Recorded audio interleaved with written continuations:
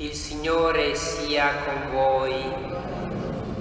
Dal Vangelo secondo Luca. In quel tempo Maria disse, L'anima mia magnifica il Signore e il mio spirito esulta in Dio mio Salvatore, perché ha guardato l'umiltà della sua serva D'ora in poi tutte le generazioni mi chiameranno beata. Grandi cose ha fatto in me l'Onnipotente e santo è il suo nome. Di generazione in generazione la sua misericordia si stende su quelli che lo temono. Ha spiegato la potenza del suo braccio, ha disperso i superbi nei pensieri del loro cuore ha rovesciato i potenti dai troni, ha innalzato gli umili, ha ricolmato di bene gli affamati, ha rimandato a mani vuote i ricchi, ha soccorso Israele suo servo ricordandosi della sua misericordia, come aveva promesso ai nostri padri, ad Abramo e alla sua discendenza per sempre. Maria rimase con Elisabetta circa tre mesi, poi tornò a casa sua. Parola del Signore.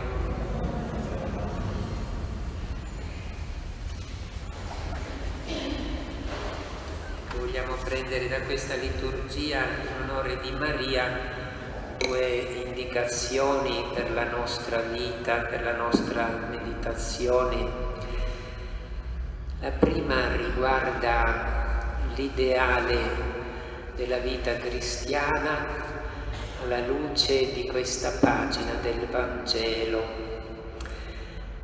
Molte volte in alcuni ambienti la Madonna è chiamata Madonna del Magnificat e in Palestina dove si ricorda la visita della Madonna Elisabetta c'è una stanza, un'aula un dove c'è il Magnificat in tutte le lingue del mondo conosciute fino a quel momento.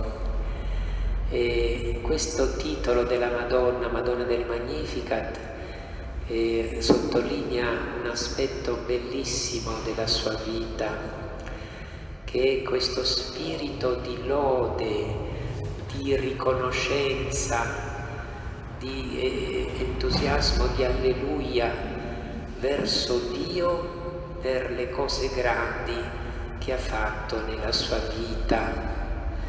E la Madonna a un certo punto fa pure una profezia dicendo che nei secoli tutte le generazioni la chiameranno beata, come per dire che questa lode del Magnificat supererà la sua vicenda storica e si dilaterà come un'onda meravigliosa nel mondo. E tutt'oggi, ogni giorno alla sera, durante il Vespro, in tutta la Chiesa, ormai da secoli, si prega con queste parole di Maria, attribuite a Maria, di Magnificat perché questo delinea un aspetto profondo della sua personalità.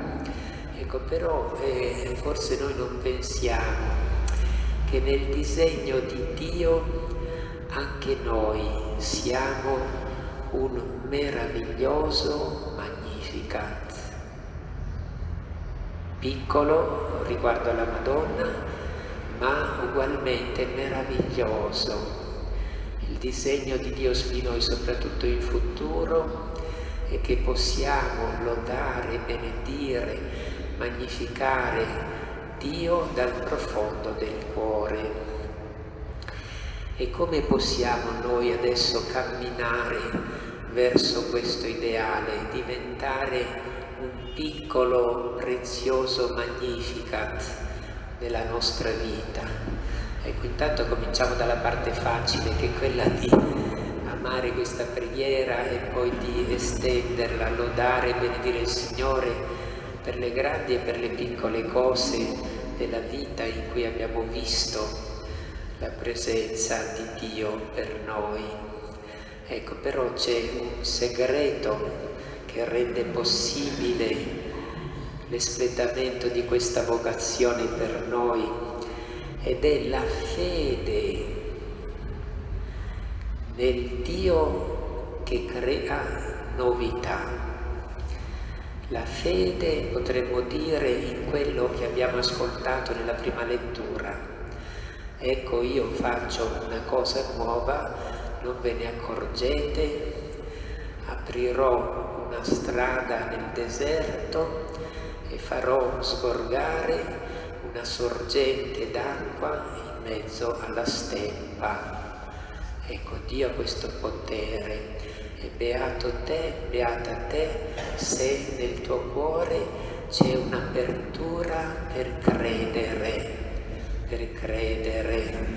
Io spero tanto che le, le cose brutte della vita, che purtroppo ci sono, non abbiano chiuso il tuo cuore in un pessimismo che non ha spiragli Ecco, questo pessimismo è una delle opere più terribili del demonio, ma lo Spirito Santo viene in tuo soccorso e nonostante tutto apre il tuo cuore alla speranza, perché colui che ha fatto risorgere un giorno dai morti Gesù può fare risorgere anche te.